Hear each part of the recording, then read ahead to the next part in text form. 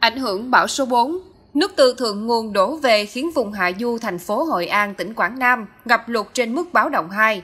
Toàn bộ khu vực phố cổ, khu phố đêm An Hội bị ngập từ 0,5m đến 1m. Đến sáng nay ngày 29 tháng 9, ngay khi lũ rút dần, người dân liền bắt tay dọn dẹp nhà cửa, nhiều nhà vận động cùng nhau dọn rác. Bão số 4 kèm lũ đã làm cho những tuyến đường tại phố cổ Hội An ngập trong cành cây, rác, bùn non. Lớp bùn này nếu không được dọn rửa sớm sẽ đông cứng lại, rất khó để làm sạch. là, là nói chung là, là sau cái lụt lội thì à, nó bài hay lắm cây ngã rồi bùn xình. Nếu trường hợp mà, mà không dọn mỗi nhà dọn một xí thì tự mình dọn là trước nhà.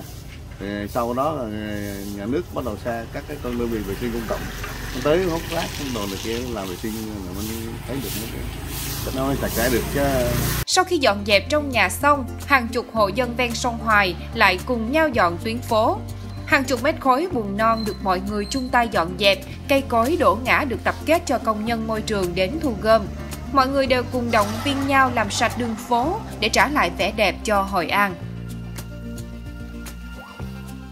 sau cơn bão số 4 nước lũ đã toàn lúc ờ, nhờ bà con bà con ờ, anh em đã ờ, tập trung ra dọn dẹp mặc dầu không có điện cũng bàn mùa hình thức dọn dẹp sạch sẽ đường phố trả lại nguyên nguyên vị cho khu du lịch